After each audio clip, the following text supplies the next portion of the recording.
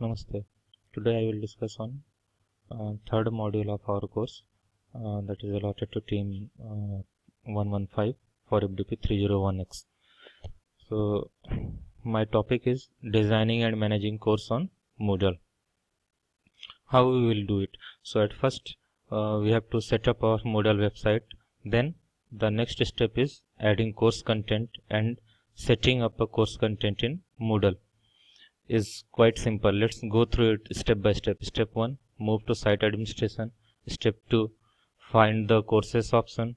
2.1 click on manage courses and categories. 2.2 create a course category which is an optional one and third one is create a course. So step 1 uh, that is move to site administration. At first log in as a as the administrator or manager or course creator in your Moodle site then the options to change content, reporting, notification, settings lies under the administration option. So click on this option to open the settings, then click on turn editing on.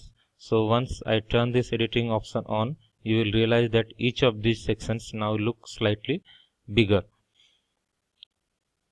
Then moving on to next step that is courses option. As you might have suggested uh, guessed it that course settings are present under the course options. So step 2.1 that is click on manage courses and categories. So under manage courses and categories page you should notice an option to create course categories or courses. Since I am creating new course the default category present in Moodle is miscellaneous. Uh, you should you could create a course under the miscellaneous category but I would like to suggest you that creating a new category is more beneficial or more helpful to organize your course content. So how to create a course category? Uh,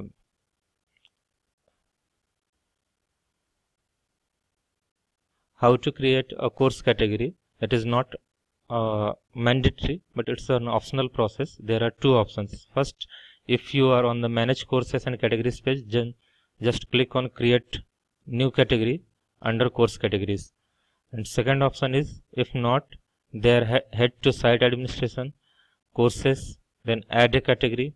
Make sure the parent category is set to top.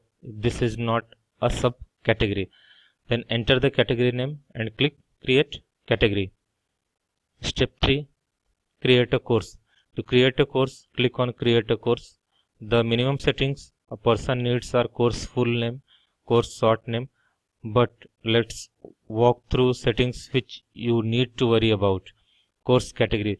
First, set the course category as appropriate. If you have created a new category, make sure you set it here or uh, it will directly go into the miscellaneous category if new category is not created. Then visible. If your course content is not completely ready, you are creating the course on behalf of a teacher, set this field to hide course summary with this field you can set a short description of your course which will be available on the course archive page. Step 3 continues. Uh, that is course summary files. Next step is there are supporting media files for the course. You can upload an image here to be displayed along with the course summary format. There are four formats which are present in a Moodle that is weekly format topic format social format single activity format. Most of the times either weekly format or topic form format is selected for creating a course then groups no groups separate groups or visible groups.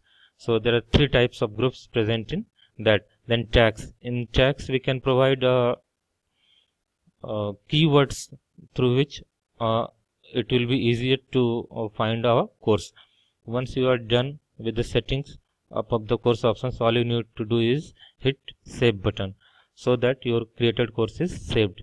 In brief, the course creation process consists of following things. First, planning the layout, activities and resources which will best meet the course goals. Then naming the course sections, adding resources, activities or labels to the sections, editing or editing blocks, testing the course as a students. Now I will show you uh, in my next video uh, live presentation of how you can create a course with the Moodles. Thank you.